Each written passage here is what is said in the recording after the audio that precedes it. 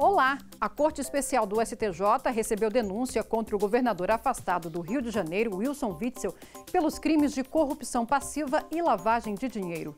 Segundo o relator da ação penal, ministro Benedito Gonçalves, há indícios razoáveis de autoria e materialidade dos crimes para o recebimento da denúncia o colegiado prorrogou ainda o afastamento do governador por um ano, a partir de 23 de fevereiro de 2021. Witzel é alvo de operações que apuram irregularidades na contratação de hospitais de campanha e na compra de respiradores e medicamentos para o combate à Covid-19. E o ministro Og Fernandes, relator das ações penais e dos inquéritos derivados da Operação Faroeste, determinou a suspensão do processo administrativo referente ao pedido de aposentadoria da desembargadora Ilona Márcia Reis. Ela está afastada do cargo pelo prazo inicial de um ano.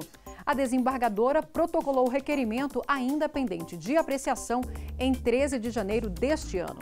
Segundo o ministro, existe jurisprudência que impede a aplicação do efeito da perda do cargo quando a aposentadoria é efetivada depois do cometimento de crime que envolva violação de dever funcional. Por isso, segundo o ministro, o afastamento cautelar também serve para impedir que o magistrado se aposente voluntariamente, evitando a perda do cargo em caso de condenação. E o presidente do STJ, ministro Humberto Martins, suspendeu uma liminar do Tribunal de Justiça do Distrito Federal e dos Territórios que paralisou a licitação para a revitalização da Avenida W3 Sul, uma das mais importantes de Brasília. Citando indícios de irregularidades, o TJDFT concedeu a liminar e suspendeu o procedimento de tomada de preços. No pedido de suspensão dirigido ao STJ, o governo distrital explicou que a liminar impede a realização de obras importantes.